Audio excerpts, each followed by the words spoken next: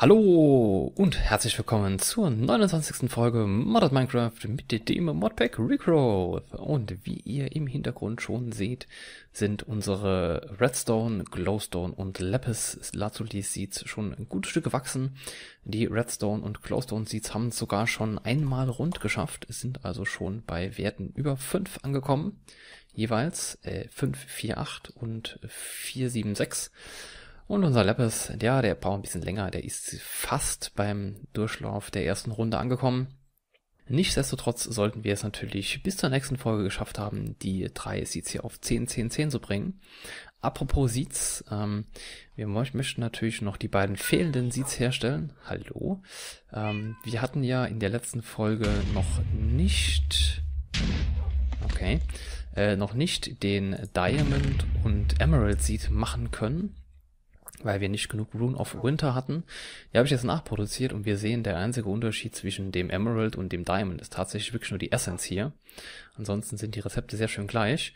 Und falls sich jetzt jemand gewundert hat, warum es hier so ruhig ist und weshalb wir hier so schöne viele FPS haben, ja, das liegt ganz einfach daran, weil die Mana-Farm verschwunden ist. Wo ist die Mana-Farm hin? Naja, der Reihe der Mana-Spreader folgend landen wir irgendwo da hinten im Wasser. Ich habe die Mana Farm nämlich einfach mal nach da hinten verlegt. Hab mir äh, 10 Potion of Night Vision und 10 Potion of Water Breathing gemacht und bin dann ein bisschen im Wasser herumgeschwommen. Eine habe ich noch übrig, damit kann ich euch dann zeigen, wie es da unten aussieht. Also einmal die hier, blub, und einmal die hier. So, jetzt sehen wir auch was. Also, ähm, ich habe das einfach, wie gesagt, hinten abgebaut und hier nochmal aufgebaut. Oh Gott, dafür sind jetzt meine FPS hier im Keller. Ähm, netterweise ist mir dann, na, wirst du wohl hoch? Komm, hoch mit dir. Uah. Netterweise ist mir dann aufgefallen, dass ähm, der Aufbau, wie wir ihn an Land haben, hier gar nicht mal so gut funktioniert. Denn die Hydroangeas ziehen sich das Wasser dann einfach von hier hinten. Und, hab ich, und dann habe ich mir gedacht, ja, dann verbessern wir eben den Aufbau ohne Glaswände und produzieren das Ganze dann da hinten nochmal. Da habe ich nämlich die Mana-Versorgung für unser zukünftiges Elfenportal aufgebaut einmal hinschwimmen. Da dürfen meine FPS noch mehr im Keller sein, denn hier geht's ein ganz schönes Stück runter. Und ihr seht, ich habe wirklich bis ganz nach unten die Hydroangeas platziert.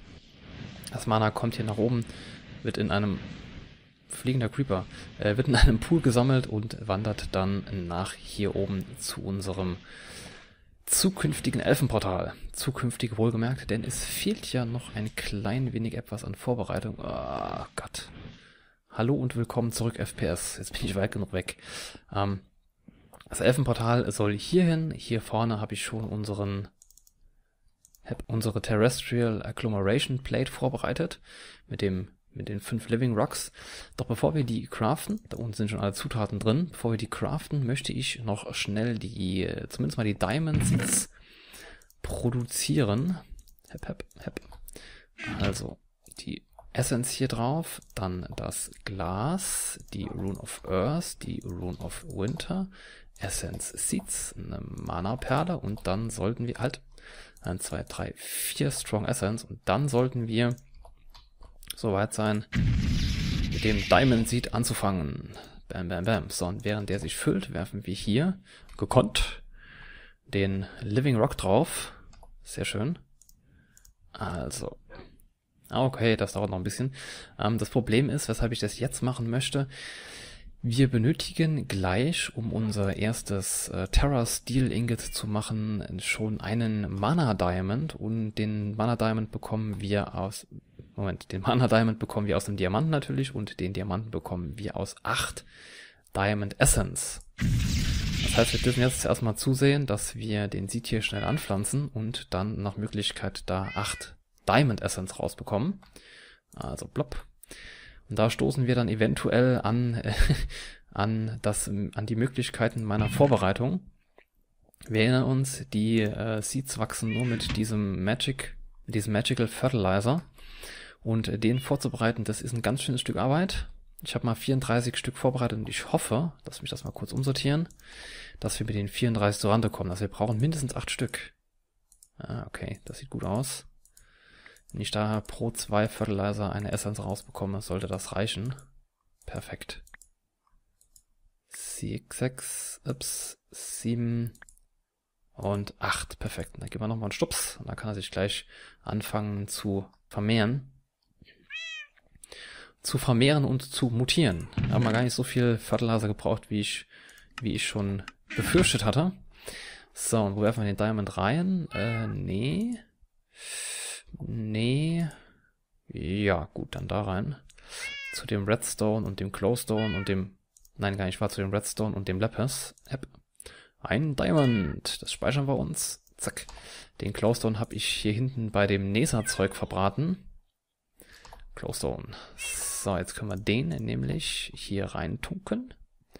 Kommt dann ein Mana Diamond heraus und können mit diesem Mana Diamond und allem, was hier in der Kiste ist, nach oben gehen, sobald wir die Terrestrial Agglomeration Plate gecraftet haben. Ihr seht hier, ich musste schon drei Lapis-Blöcke hierfür vorbereiten.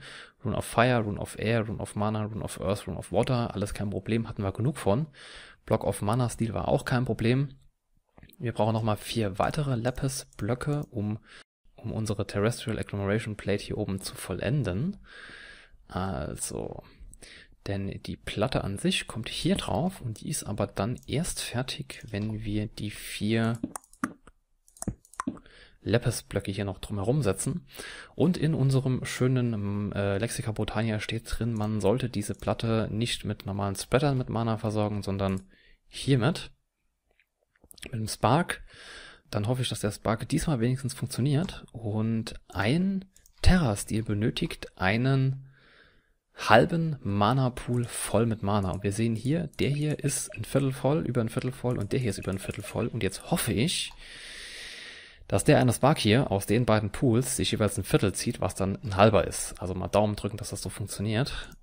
Den da drauf und den da drauf und ja, genial, das funktioniert. Yay, yay, yay.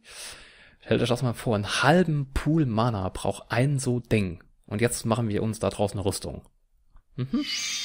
Yay, Terror Steel, Terror Steel, Terror Steel. Dancer in the Dark. Okay. Feuerwerk. So, was machen wir jetzt damit? Pff, wie gesagt, ich werde mir sehr wahrscheinlich sehr viel Zeit nehmen müssen, um äh, die restlichen Terra-Stil jetzt zu craften, denn der Pool hier ist jetzt äh, ne, leer. Bis wir da nochmal ein neues Terra-Stilchen craften können, das dauert ein bisschen. Das hier können wir nachher abbauen, das brauchen wir jetzt nicht.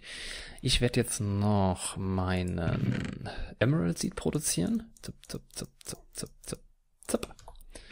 Also Essence drauf, den Seed drauf, das Glas drauf, die vier Strong Essence drauf, eine Mana Pearl, eine Rune of Winter und das müsste gewesen sein. Ah, was fehlt jetzt schon wieder? Oh, die Rune of Earth. Die hat sich in meinem Inventar versteckt. Den Living Rock noch oben drauf. Zack. Und während wir jetzt hier drauf warten, können wir nochmal kurz in unser Lexica Botania schauen. Denn wir wollen uns aus dem Terra-Stil ja nicht nur eine Rüstung craften, nein, wir können da ja auch äh, den Terra-Stil fürs Portal benutzen, denn für, unseren, für unser Elfen Gateway brauchen wir einen Terra-Steel Ingot und acht Living Wood. Die acht Living Wood haben wir noch da unten rumfliegen. Zack. Also, Living Wood. Ist meine Night Vision eigentlich noch aktiv? Nee, okay. Äh, acht Stück. Zack, zack, zack. Hat mich gerade gewundert, warum es hier unten so hell ist. Also, die acht Stück plus ein Terra-Steel. Meine Güte, war das teuer. Zack, zack, zack, zack. Es kostet uns jetzt ja zum Glück nur Zeit. Elven Gateway Core, denn alles andere sind ja quasi nachwachsende Ressourcen. So, jetzt muss ich hier nochmal kurz in mein Büchlein schauen, wo denn der Elven Gateway Core hinkommt. Der ist nämlich auf der nächsten, nein, auf der übernächsten Seite ist der beschrieben. Make a frame of living wood, add glimmering living wood und der Core kommt dann quasi äh, drei nach hinten. Also hier, eins, zwei, drei, der kommt dahin. So. Da so ungefähr, ne? Okay. Zack. Jetzt können wir unseren Emerald Seed noch fertig craften.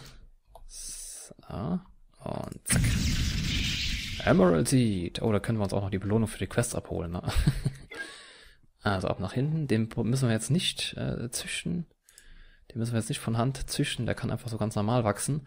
Was wir aber tun können, ist ähm, das Portal soweit fertig machen. Das sollte man nämlich jetzt eigentlich hinbekommen. Ein wenig Zeit ist ja noch. Ich nehme mal das ganze Living Wood hier mit. Dichter, Dankeschön. Denn auch den Glowstone für die beiden, nein, drei sind es glaube ich, Glimmering Wood Dingers da haben wir. Für die Glimmering Living Wood, die sollten wir auch haben. Also 2, 2, 2, 2, 2. Hep. Äh, Sekunde. Nehmen wir gleich alles mit, was wir brauchen. Ich hatte gesagt, den Close haben wir hier. 1, 2, 3. Mal schauen, ob das so stimmt. Also 1, 2, 3 und 3 ergibt Glimmering Living Wood. Sehr schön. So, da kommst du dahin. Du dahin. Und dann sollte unser Elven Gateway soweit schon stehen. Und das Einzige, was dann noch fehlt, sind diese Pylonen, die wir auf die Mana Pools hier stellen müssen. Also du kamst dahin, du dahin, dahin und dann, oh, das ist die falsche Axt. Den nochmal weg. Und den nochmal weg. So, Glimmering Wood. Glimmering Wood. Und wie komme ich jetzt da oben drauf? Ah. So und so, so. Wobei der wieder weg muss. Dankeschön. Der kann auch weg. Und ab, ab, ab. Oh, das da wollte ich eigentlich hin. Na, wo ist hingefallen? Da ist es. Den noch weg. Und wenn wir den letzten Living Wood hier reinsetzen, sollte das Portal eigentlich soweit fertig sein. Wir können uns das Ganze nochmal im Büchlein ansehen, ob das so auch stimmt, was wir hier gebaut haben. Also, acht Living Woods sollte passen. Drei Glimmering Living Woods haben wir auch und den Gateway Core in die Mitte. Das Ganze von unseren Mana Pools aus mit zwei Feldern Platz. Eins, zwei stimmt auch. In die Mitte der Mana Pools stimmt auch. Und dann fehlen, wie gesagt, nur noch die Natura Pylonen. Und die craften wir, indem wir, steht ganz vorne, genau, zwei Mana Pylonen mit einem Terra Steel Ingot zusammen craften bekommen netterweise zwei Stück raus. Und den Mana Pylon, den machen wir wieder mit einem Diamond. Das heißt, da werde ich jetzt, mit einem Mana Diamond, da werde ich jetzt nochmal jede Menge Diamanten vorbereiten dürfen. Einmal für unsere Rüstung. Äh, Terra-Stil kann ich auch gerade vorbereiten, sonst sind wir der 100 Jahre, bis die Mana Pools nochmal gefüllt sind. Ja, das dauert trotz meiner genialen Hydro-Angeas-Farm ja doch relativ lange. Vielleicht sollte ich noch eine aufstellen. okay, never mind. Ladies and Gentlemen, in dieser Folge habe ich es dann tatsächlich mal geschafft, in der Folgenzeit zu bleiben. Wir sind unserem ähm, Elfen-Portal, unserem Alfheim-Portal ein gutes Stück näher gekommen. Es mangelt jetzt nur noch an jeder Menge äh, Terra-Stil. Und für den zu craften brauchen wir natürlich jede Menge Zeit. Ich denke also, bis zur nächsten Folge sollten wir das alles zusammen haben. Ich bedanke mich bei euch also recht herzlich, dass ihr bis zum Ende zugesehen habt. Würde mich freuen, wenn wir uns in der nächsten Folge wiedersehen. Bis dahin, ciao, ciao, euer Ben.